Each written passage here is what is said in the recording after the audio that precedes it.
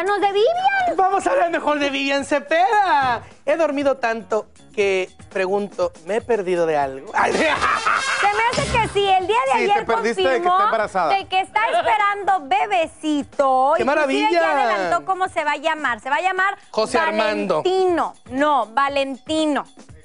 Que, a ver, señor productor, ¿qué anda haciendo? Oye, el día, el Pon día de esa ayer foto para verle la panza. Ni tiene panza, qué bárbara. Oye, eso fue hace mil años.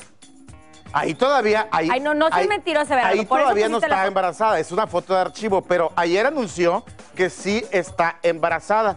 Y Chavana también nos habló al respecto. Ay, Chavis. No, Chavana se ha convertido como el corresponsal de Vivian Cepeda Flames. está en embarazo, ¿qué le dice? Ah, me enteré que Vivian está embarazada y me dio mucho gusto por mi compañera. Muchísimas felicidades a Vivian, estoy muy emocionado por ella y, nos unimos a, la felicidad que embarga toda esa familia de, de- de- multimedios y con esto que le pasó a Vivian, que es algo extraordinario, me da muchísimo gusto y felicidades para ella.